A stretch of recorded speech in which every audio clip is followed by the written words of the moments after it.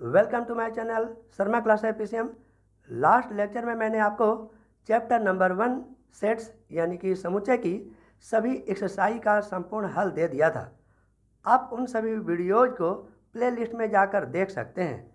आज हम लोग new chapter number two relation and function यानी कि संबंध एवं फलन की शुरुआत करने जा रहे हैं। चलिए इसके आगे हम देखते हैं कि रिलेशन और फ़ंक्शन में इसका बेसिक इंट्रोडक्शन क्या है? पहले हमें ये जानना ज़रूरी है। चलिए देखते हैं बेसिक इंट्रोडक्शन इसका क्या है। ये आपका, आपके सामने हो गया बेसिक इंट्रोडक्शन।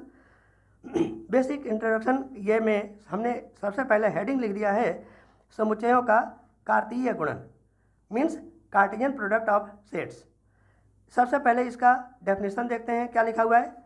दो अरिक्त समुच्चयों P तथा Q का कार्तीय गुणन P क्रॉस Q उन सभी क्रमित युग्मों का समुच्चय होता है, जिनको प्रथम घटक P से तथा द्वितीय घटक Q से लेकर बनाया जा सकता है। इसमें इसको अंग्रेज़ी वर्सन के रूप में हमने दे दिया है। ये बच्चों को कोई प्रॉब्लम ना हो, ये वही चीज़, ये कन्वर्सेशन के रूप में दिखाई दे रहा है। हाँ तो बाई डेफिनेशन ये, इसको हम ये प्रतीकात्मक भाषा के रूप में कैसे लिखेंगे, जरा वो भी देख लीजिए। P cross Q equal to small p small q bracket close such that small p belongs to capital P and small q belongs to क्या हो गया?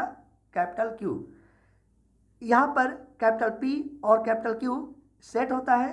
सेट्स के रूप में रिप्रेजेंट करते हैं और यहाँ पर स्मॉल पी और स्मॉल क्यू क्या है? उनके एलिमेंट हैं। तो ये एलिमेंट का तो चिन्ह होता ही है, जैसा कि आप पहले से जानते हैं। ये एलिमेंट का साइन है, ठीक है ना? इसको विस्तार से हम पढ़ने वाले हैं। अब जरा इसके आगे जरा सोल्यूशन देखिए, ये क्या कहना चाह रहा है। इसमें अगर हम ये स्मॉल ब्रैकेट में ए कमा बी लिखें तो दो है ना? दो को पेयर भी कहते हैं, लेकिन ऑर्डर के रूप में लिखे होने के कारण इसको हम कहते हैं ऑर्डर्ड पेयर इसकी विशेषता क्या होती है? इसमें फ़र्स्ट और सेकंड पोजीशन फिक्स होता है। तो इसीलिए हम इसको कह देंगे फिक्स्ड पोजीशन ए और बी, ये चेंज आपस में नहीं होंगे। ठीक है ना? इसका एक एग्ज़ाम्पल लेके हम देखते हैं। Let capital A set equal to one two का एलिमेंट और कैपिटल बी सेट का एलिमेंट है स्मॉल ए बी और स्मॉल सी देखिए यहाँ पर हमने क्या ले लिया? कैपिटल ए में एलिमेंट वन टू ले लिया और कैपिटल बी सेट में ले लिया ए बी और सी यहाँ पर जैसा कि दिखाई दे रहा है, वही एलिमेंट हमने ले लिया। ये सवाल को सिंपल रूप में हल करने का एक ढंग है और कुछ नहीं है। तो एक और बात यहाँ पर जानना ज़रूरी है कि ए और बी में एलिमेंट गिवन है, यानी कि यह ए और बी दोनों क्या हो गया? नन एम्प्टी सेट है। ठीक है ना? तो इसका कार्टिजन प्रोडक्ट हम कैसे फाइंड आउट करेंगे? मीन्स क्रमित युग्म कैसे हम प्राप्त करेंगे? पहली बार चूँकि आप देख रहे हैं तो थोड़ा धीरे रखते हुए काम कीजिएगा तो आपको एक बार में ही समझ में आ जाएगा कि इसको हम कैसे फाइंड आउट करते हैं। तो A cross B equal to देखिए, ये A cross B equal to सभी one a one b one c two a two b two c. बस यही आपका आंसर होता है। One a, one b, one c, two a, two b, two c. इसकी विशेषता क्या होती है? इसकी विशेषता ये होती है कि ये कैपिटल ए जो होता है, वो फ़र्स्ट एलिमेंट से लिखा गया होता है। वन वन वन, टू और टू और टू। ये फ़र्स्ट कैपिटल ए का एलिमेंट होता है। पहले ए आया है तो केवल एक एलिमेंट लिख दिया। क्रॉस करके बाद में कैपिटल बी लिखा है तो सभी में ये ए बी सी के ही एलिमेंट दिखाई दे, या तो स्मॉल ए दिखाई देगा, या तो स्मॉल बी या तो स्मॉल सी वही चीज़ फिर से दोबारा रिपीट हो रहा है।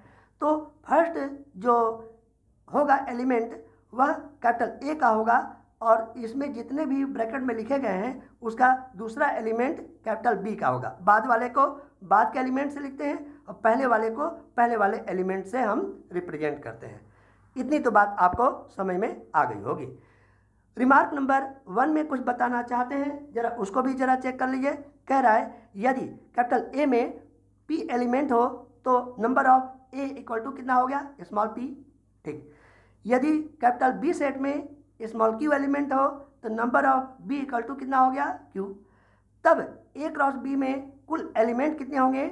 Number of A cross B equal to number of A देखिए number of A into number of B क्या कहा? Number of A into number of B वही चीज़ लिख दिया।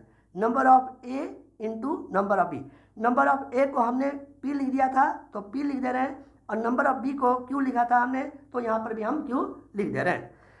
इसका एग्ज़ाम्पल हम ऊपर के ही उदाहरण से देख लेते हैं कि ये क्या कहना चाह रहा है। देखिए ए में दो एलिमेंट है तो number of A equal to कितना हो गया? Two p equal to two मिला। यहाँ पर ज़रा चेक कर लीजिए, क्योंकि अब अब एग्ज़ाम्पल की बात हम कर रहे हैं, ऊपर के एग्ज़ाम्पल नंबर वन लिखा है ना एग्ज़ाम्पल वन वही एग्ज़ाम्पल वन यहाँ पर भी है, उसी ऊपर के एग्ज़ाम्पल में ही देख लीजिए, यहाँ पर नंबर ऑफ़ बी कितना एलिमेंट का है वन टू और थ्री तो नंबर ऑफ़ ऑफ़ बी यानी कि क्यू इक्वल टू ये हो गया थ्री तो तब number of A cross B यानी कि ए क्रॉस बी कार्टिजन में टोटल एलिमेंट कितने होंगे, इसका जवाब होगा p into q equal to two into three equal to six ये आपका जवाब हो जाएगा। अब रिमार्क नंबर टू में हम क्या बताना चाह रहे हैं? वो भी समझ लीजिए। रिमार्क नंबर टू में क्या हम बताना चाह रहे हैं? यदि पी या क्यू में से कोई भी रिक्त समुच्चय है मतलब एम्प्टी सेट है एम्प्टी सेट के केस में उनका कार्टेशियन प्रोडक्ट भी होगा एम्प्टी सेट ठीक है ना? Empty set means null set उसमें कोई एलिमेंट तैयार नहीं होगा। जरा इसको एग्ज़ाम्पल के तौर पर हम देख लेते हैं कि यदि ए में रिक्त समुच्चय है एम्प्टी सेट है, इस सर्किल में कोई एलिमेंट हमने नहीं लिखा। इसी को तो हम एम्प्टी सेट कहते हैं। इसको या इसको हम फाइव से प्रदर्शित करते हैं। तो ये कोई एलिमेंट यहाँ पर मौजूद नहीं है। और लेकिन बी में हम मान लेते हैं कि ए बी और सी यहाँ पर तीन एलिमेंट है। तो जरा जरा चेक कीजिए कि ए क्रॉस बी में कितने एलिमेंट हो जाएँगे। तो जरा चेक करके देखना है को, कोई भी एलिमेंट नहीं है वहाँ से ए कोई भी एलिमेंट नहीं है वहाँ से बी कोई भी एलिमेंट नहीं है वहाँ से सी ये तो हो ही नहीं सकता। इस प्रकार से यहाँ पर यह बात सत्य हो गया कि ए क्रॉस बी में कोई भी एलिमेंट नहीं होगा। मीन्स रिक्त समुच्चय के रूप में हमें ये ए क्रॉस बी होगा, चाहे पी क्रॉस क्यू होगा, उस तरह से हमें प्राप्त हो जाएगा। ठीक है ना? जरा इसमें number of P cross Q की वैल्यू कितनी होगी? Number of P into number of Q equal to number of P की वैल्यू कितनी हो जाएगी? ज़ीरो क्योंकि पी में एलिमेंट होगा नहीं, और क्यू में कितना हो जाएगा? तीन तो zero into three equal to three तो ए के जगह पर हम ए ना लिख करके हम इसको पी मान लेते हैं थोड़ी देर के लिए, और बी ना लिख करके इसको क्यू मान लेते हैं। तब आपको स्पष्टता दिखाई दे रहा होगा कि पी में कोई एलिमेंट नहीं है, ज़ीरो लिख दिया क्यू में हमने एलिमेंट तीन लिख दिया थ्री तो zero into three equal to three अब जरा चेक कर लीजिए रिमार्क नंबर थ्री क्या कह रहा है। यदि ए या बी में कोई इनफाइनाइट सेट हो, ठीक है ना तो ए क्रॉस बी में भी इनफाइनाइट सेट होता है। कहने का मतलब क्या हुआ? ए में मान लीजिए कि one two three dotted infinite set होगा तो वन का ये ए से बिलोंग करेगा टू का भी ए से थ्री का भी ए से फोर का भी ए से फाइव का भी ए तो इनफाइनाइट का भी ए से होगा। इस तरह से यहाँ पर पी क्रॉस क्यू में इनफाइनाइट सेट मिल जाएगा। कब होगा यह? जबकि ए क्रॉस बी चाहे पी क्रॉस क्यू में ये ये दोनों अलग अलग या कोई भी एक इसमें से इनफाइनाइट सेट हो तो उनका कार्टेशियन प्रोडक्ट भी इनफाइनाइट सेट के रूप में होगा। चौथा रिमार्क में क्या हम बताना चाह रहे हैं कि यदि A cross B cross C को देखें तो इसको हम कहेंगे क्या? ऑर्डर्ड ट्रिपलेट ऑर्डर्ड ट्रिपलेट कहेंगे। क्रमित त्रिक के नाम से हम जानते हैं। अगर इसमें ए क्रॉस बी हो तो इसमें दो ये एलिमेंट होने के कारण पेयर होने के कारण इसको हम नाम देते हैं ऑर्डर्ड पेयर तो दो हो तो उसको ऑर्डर्ड पेयर कहते हैं, क्रमित युग्म कहते हैं, और तीन हो A cross B cross C तो उसको हम कहते हैं ऑर्डर्ड ट्रिपलेट कहते हैं। क्रमित त्रिक तो इस प्रकार से क्रमित त्रिक और क्रमित युग्म होता है। अंग्रेज़ी में वही चीज़ आपको बता दें कि ये ऑर्डर्ड ट्रिपलेट होता है और ऑर्डर्ड पेयर होता है। तीन के लिए ट्रिपलेट और दो के लिए पेयर होता है। हाँ यहाँ पर एक बात और आपको हम बताना चाहते हैं कि एक्सरसाइज इस एक्सरसाइज 2.1 के लिए हमने जो इंट्रोडक्शन दे दिया, वह इतना ही है अब हम क्या करना चाहते हैं? एक्सरसाइज 2.1 ये जो आपको दिखाई दे रहा है एक्सरसाइज ये वाला 2.1 आपको ये जो दिखाई दे रहा है, इसके कुछ एग्जाम्पल्स हैं, उसको भी हम बता दें, और नेक्स्ट वीडियो में हम क्या करेंगे कि उसको, ये पूरी तरह से एक्सरसाइज के अगले, ये एक्सरसाइज के क्वेश्चंस को हम बताना चाहेंगे। तो पहले हम एग्ज़ाम्पल को सिंपल वे में सॉल्व करने की कोशिश करेंगे, ध्यान से देखिएगा। हाँ तो हम पहले एक बात बता दें, यह एक्सरसाइज कौन सा है? एक्सरसाइज यह हो जाएगा टू पॉइंट वन हो गया, ठीक? इसका एग्ज़ाम्पल नंबर वन कह रहा है कि यदि x plus one comma y minus two equal to three comma one तो एक्स और वाई की वैल्यू हमें फाइंड आउट करनी है। इसके लिए हम क्या देखते हैं? एक्स प्लस वन ये फ़र्स्ट एलिमेंट को फ़र्स्ट एलिमेंट से चेक कंपेयर कर लीजिए तो x plus one equal to मिला हमें थ्री और इस प्रकार से हम कंपेयर करके देखें तो three minus one equal to two तो x equal to two value हमें मिल गया। इसी प्रकार से वाई माइनस टू सेकेंड को सेकेंड से कंपेयर करके वन से कंपेयर करके देखें तो y minus two equal to one इसको माइनस टू को इधर लाइए तो वाई इक्वल टू हमें थ्री तो इस प्रकार से एक्स और वाई का वैल्यू मिल गया। अब देख लीजिए एग्ज़ाम्पल नंबर टू क्या कह रहा है। यदि p equal to a b c और q इक्वल टू आर तो p cross q q cross p हमें फाइंड आउट करना है। और दूसरे पार्ट में कह रहा है कि क्या दोनों कार्टियन प्रोडक्ट मीन्स कार्तीय गुणन समान हैं? इसको हमें फाइंड आउट करना है। इसके लिए हम क्या करेंगे? ये देखिए, सब पी क्रॉस क्यू के लिए पहले हमने पी लिख दिए और बाद में q है तो q लिख दिए। ये बहुत आसान तरीका होता है पी क्रॉस क्यू ज्ञात करने के लिए। ठीक है ना? तो जरा कंपेयर करके इसको इससे देखना है दूसरे पार्ट को दूसरे पार्ट से देखना है। यहाँ से इसको देखना है और इसको देखना है इससे ठीक है ना? तो अब सबसे पहले पी क्रॉस क्यू को हमने देखना है। ये पी और क्यू को दे, दे, दिखाई दे रहा हो तो जैसे अब हम इसके एलिमेंट्स देखने जा रहे हैं। ये इसका एलिमेंट क्या होगा? A R B R C R ठीक? वही चीज़ लिखा हुआ है। देखिए A R B R C R ये पी क्रॉस क्यू मिल गया। अब ये देखिए क्यू क्रॉस आर के लिए पहले हमने क्यू के एलिमेंट लिख दिए और फिर पी का एलिमेंट लिख दिए। अब हम क्यू क्रॉस पी कैसे फाइंड आउट करेंगे? जरा उसको भी चेक कर लीजिए। ये r a r b r c ठीक ना?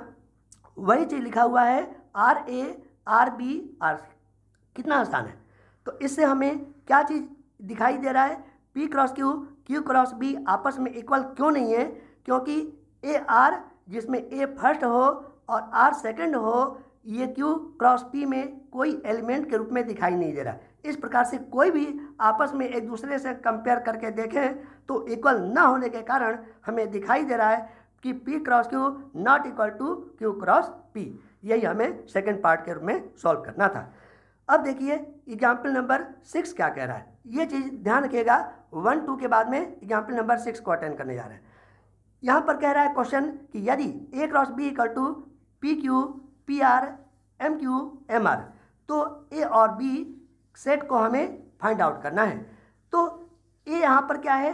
फ़र्स्ट एलिमेंट ठीक? और बी क्या है?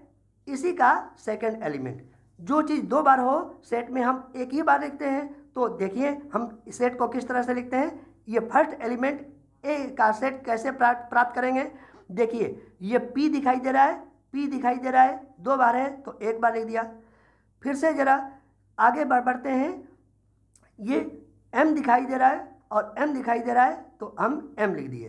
तो इस प्रकार से हमें मिल गया सेट ए इसी प्रकार से सेट बी बाद वाले एलिमेंट को चेक करना है। जरा वो भी चेक करके देखते हैं। क्यू आर ये क्यू और आर लिख दिए, ठीक? क्यू और आर लिख दिए ना?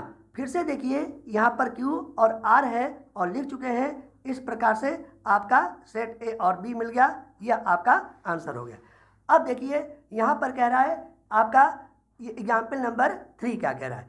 मान लीजिए कि capital A equal to one two three B equal to ये three four C equal to four five six ठीक है ना? तो हमें इसमें चार पार्ट फाइंड आउट करना है। फ़र्स्ट पार्ट है A cross B intersection C second part है A cross B intersection A cross C third part हमें फाइंड आउट करना है A cross B union C fourth part हमें फाइंड आउट करना है A cross B union A cross C चलिए, इसका solution का फ़र्स्ट पार्ट हम इसको सॉल्व करना चाहते हैं पहले। तो फ़र्स्ट पार्ट सॉल्व करने के लिए पहले इसमें देखिए हमें B intersection C find out करना है। तो देखिए हमने बी लिख दिया सी लिख दिया हमने, अभी कोई एलिमेंट हमने नहीं लिखा है।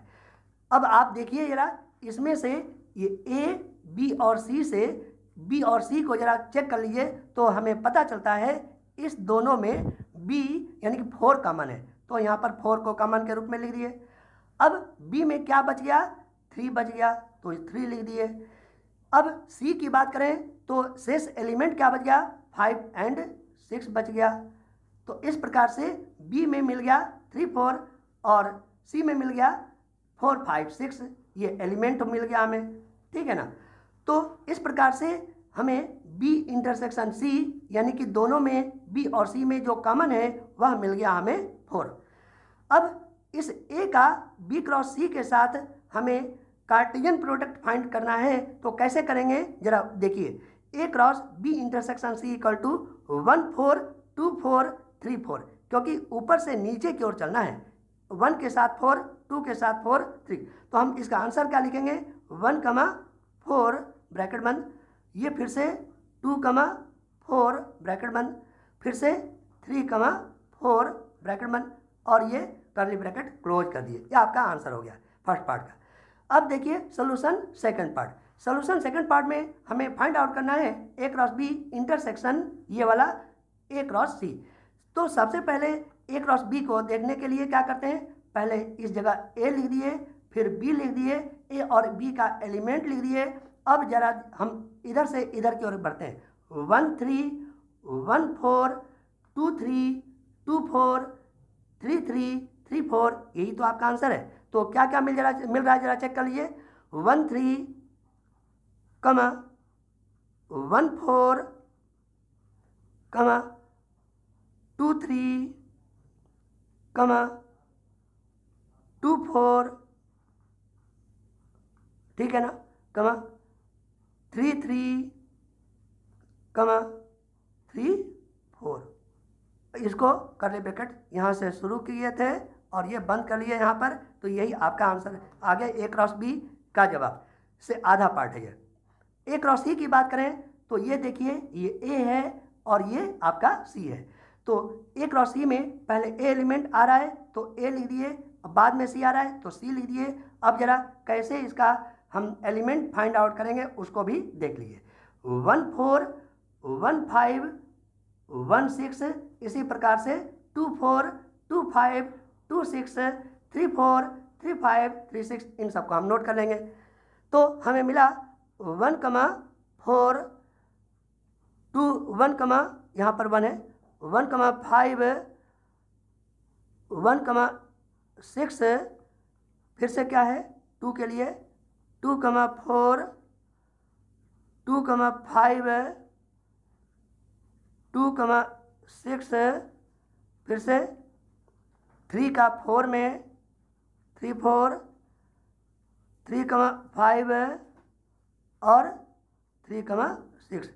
अब इसको कर करली ब्रैकेट यहाँ पर शुरू हुआ था, और इसको बंद कर लिए। तो इस प्रकार से आपका आंसर ये ए क्रॉस सी के लिए आया। ये भी आधा पार्ट है। अब हम चेक करेंगे कि ए क्रॉस बी और ए क्रॉस सी में दोनों में इंटरसेक्शन यानी कि कॉमन कौन सा है। ज़रा मिलान करके देखिए। वन थ्री नहीं मिल रहा है। कोई। वन फोर मिल रहा है। तो वन फोर लिख देते हैं। वन कमा फोर मिल गया। इसके बाद में ये टू थ्री ज़रा चेक कर लीजिए। समय से टू थ्री नहीं मिल रहा है। टू फोर ज़रा चेक कर लीजिए। टू फोर मिल गया दोनों में कॉमन तो वो लिख लेते हैं, टू कमा हो गया फोर। इसके बाद में ये मिल गया। अब थ्री थ्री ज़रा चेक कर लीजिए। ये थ्री थ्री कहीं नहीं दिख रहा है। अब थ्री फोर ज़रा चेक करके देख लीजिए। थ्री फोर मिल गया। तो अब हमें थ्री कमा फोर मिल गया। ये चीज़ अलग से आपको क्या दिखाई दे रहा है कि A cross B intersection A cross C का आपका यही जवाब है। इसमें तीन एलिमेंट आपको मिल गया, जो कि पहले से हम लिखे हुए हैं। अब देखिए, यहाँ पर इसका थर्ड पार्ट के लिए सोल्यूशन क्या है? इसमें हमें फाइंड आउट करना है A cross B union C.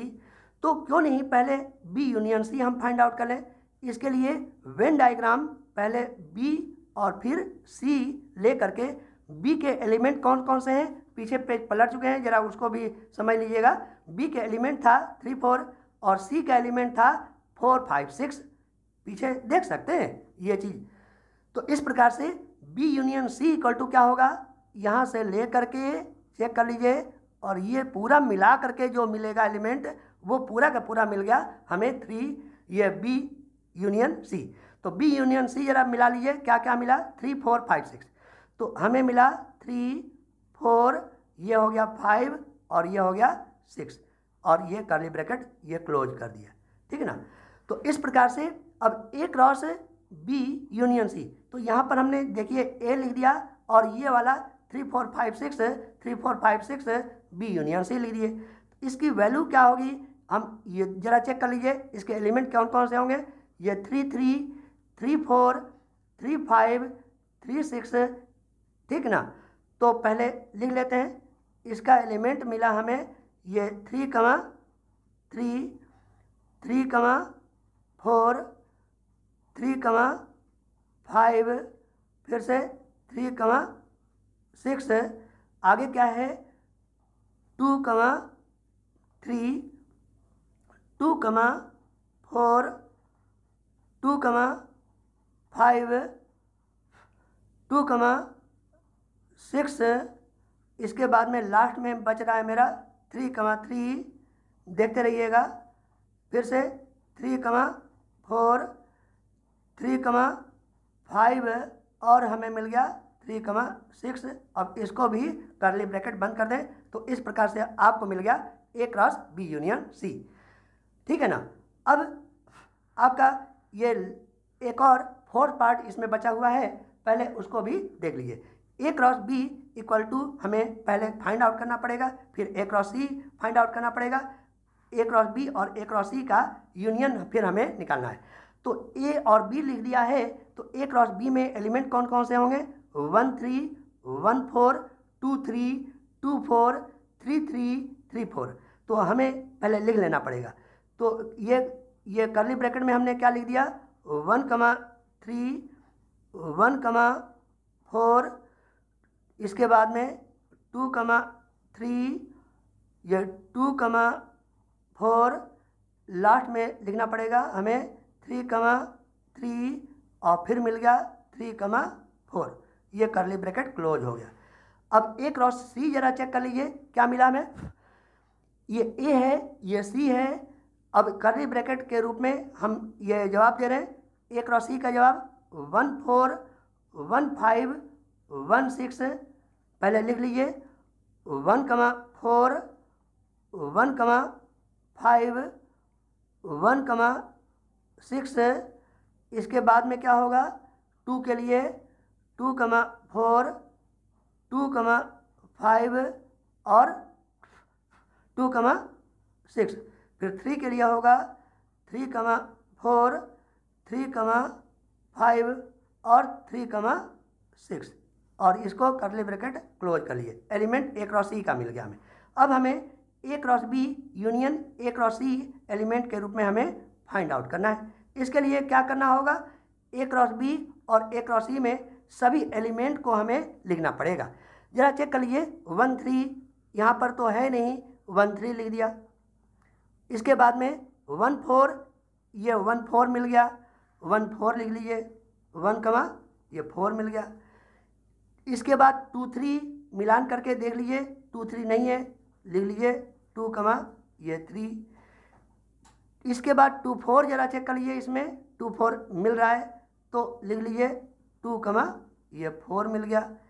इसके बाद में मिला हमें थ्री थ्री। देख लिया, रिपीट नहीं हो रहा है तो थ्री कमा ये थ्री लिख दिए। इसके बाद थ्री फोर ज़रा चेक कर लीजिए। मिल रहा है कि नहीं? मिल गया।